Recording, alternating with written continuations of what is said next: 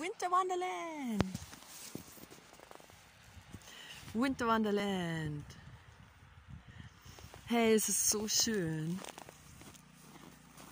Ich zeige dir jetzt mal meinen Garten im Winter. Ich habe schon öfter mal gezeigt, also wir haben echt oft viel Schnee, also nicht immer, aber oft. Und ich habe am Anfang immer versucht, ähm, zwei oder dreimal hintereinander anzusäen und auch im Winter aber ein bisschen Charles Dowding ist mein Vorbild, aber der wohnt ja in England. Der tut ja bis in November noch äh, ja, säen oder ernten und dann im Februar geht es wieder los bei ihm. Lauter so Sachen habe ich alles schon ausprobiert.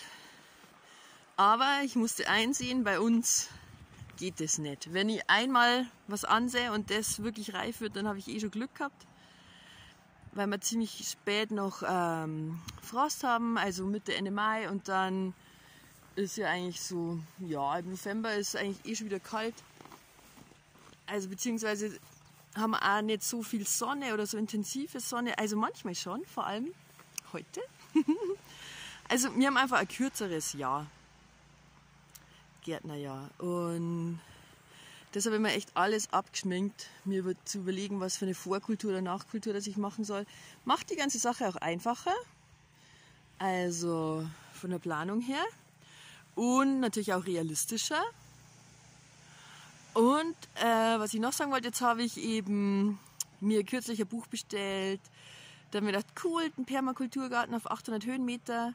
Und jetzt habe ich aber schon ein bisschen in die Bewertungen gelesen. Ah, er wohnt an das, am Südhang vom Bodensee.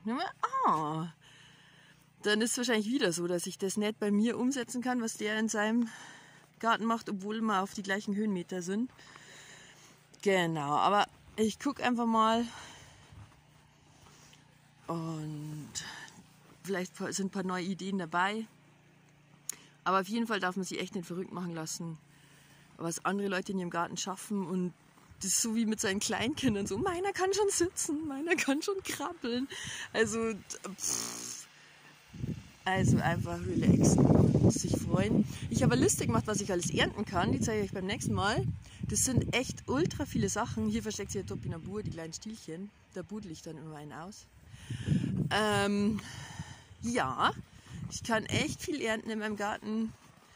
Und ich bin ganz stolz, dass ich einen Garten habe, der wenig Arbeit macht und viel Freude. Hey, ich wünsche dir einen schönen Tag.